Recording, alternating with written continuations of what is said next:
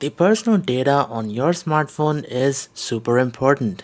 And it goes without saying that you should always have a reliable backup of things like your photos, videos, your messages, contacts, personal notes, well basically everything that is on your smartphone just in case something goes wrong. Like if the phone gets stolen or if the screen stops working. So in this video, I'm gonna show you how to backup the entire contents of your Samsung smartphone to a USB flash drive and also show you how to restore everything from it. And one of the reasons why we are going to use a USB flash drive is because it is one of the most reliable sources of a backup. You see, the thing is, once you take a backup on this, you can store it away in a safe place and update the backup every now and then.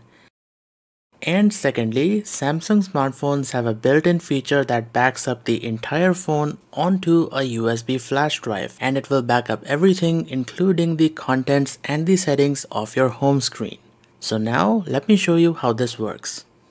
Alright, so the first thing you will need is an empty USB Type-C flash drive which has sufficient capacity to accommodate everything that is on your smartphone you can actually go to the settings and then scroll down to battery and device care and check how much storage you've got. This is a 512GB S23 Ultra but as you can see we're only using about 25GB worth of space. Rest of it is occupied by the apps and the system. So a 128GB USB flash drive is more than enough to accommodate everything that is on the phone. Oh, and you can also use a USB type A flash drive, but then you will need a USB type C to type A adapter which are easily available on Amazon. Okay, so I've got the USB drive plugged in and to start the backup, drop down the notification panel and go to settings. Scroll down to accounts and backup and inside here tap on external storage transfer and then tap on USB storage. And here you're gonna see three options. You can choose to back up the entire contents of your phone by selecting everything and this is what I recommend. Or you can just choose to back up the call logs, contacts and messages. And lastly, you also have the option of a custom backup. So here you can choose from the individual items on your phone. And if you are wondering, yes, it also backs up the secure folder. You can see it over here. Anyways, I'm gonna select everything so that we have an exact replica of the phone. And now the phone is asking us if we wanna include the secure folder or not, which we obviously want to include. And guys, the backups are pretty secure. They are actually encrypted and you will need to enter the credentials of your Samsung account on the phone you are restoring the backup on. And I'm gonna show you how when we restore this backup onto another phone and the whole backup process took only about 15 minutes even though the phone was showing 1 hour remaining. That might be because we are using a USB 3.1 flash drive. And make sure that you properly unmount the USB drive before removing it from the phone. So yeah, there you go. This USB drive contains the entire contents of the S23 Ultra and now we can restore this backup onto pretty much any Samsung smartphone. Although keep in mind that the contents are encrypted and to decrypt you will need to sign in into your Samsung account. So I will be demonstrating the restoration process on the Note 10 Plus and once we finish it should be identical to the S23 Ultra and right now you can see that I've done a factory reset and everything is as it would be when you first unbox and power on your phone. The only thing that I've done is I've signed in with my Google account. So yeah, let's start. I've got the USB drive in and now we are gonna go into the settings and once again go back to the accounts and backup. Then we are gonna tap on external storage transfer, give it all the permissions and tap on allow and finally, select the latest backup under restore from USB.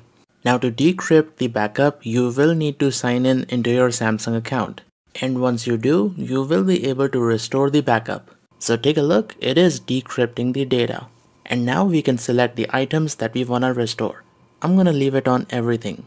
So yeah, let's start the restoration process. Now it will take a couple of minutes to restore everything, so let the phone do its thing. Now, once the phone finishes transferring the data from the USB, it's gonna start organizing everything. This is gonna happen in the background and you can check the progress from over here. Also, we can now go ahead and remove the USB drive and once again make sure to safely unmount it before yanking it off your phone. Now sometimes it may appear that nothing is happening and the app is stuck. This is completely normal and the phone is doing something in the background.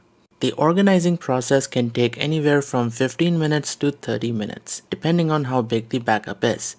And once the phone finishes organizing the data, you're gonna see that it looks pretty much identical to the phone you took the backup from. So take a look, our Note 10 Plus looks almost identical to the S23 Ultra. Well, at least the home screen is identical down to the widgets and their size. I've also noticed that many app icons are grayed out. This is because the phone is still installing the apps in the background and you can see it here. And obviously some of the apps are not compatible with the Note 10 Plus like the Expert RAW app, so these are not gonna work. But yeah, it looks like it has restored 99% of the apps. Let's go to the home screen and check that out. The home screen layout is also now identical, although the battery widget is missing because the battery widget is not there on the Note 10 Plus. This is because it is running slightly older version of One UI and it looks like we also have all of our photos and videos. That is nice and checking the Samsung Notes app looks like all of our content is here including the photo notes. Let's check the messages. Yes, all of our messages have been carried over but we don't have the Google messaging app here. Instead, we have Samsung messages, but all of the messages are here which I cannot show because it shows the bank transactions so shouldn't be an issue and you can always reinstall Google Messages from the Play Store. Now as for the secure folder, all you need to do is open it on the phone and go through the initial setup. And once you do, the phone is gonna prompt you to restore the secure folder items from a backup. And all you have to do is tap on restore.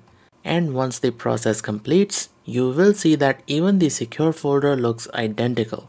So check this out. We do have all of the apps and uh, the gallery also contains all of our secret photos. So yeah, using this method, you can actually back up the entire contents of your phone, including the secure folder onto a USB flash drive. That is awesome.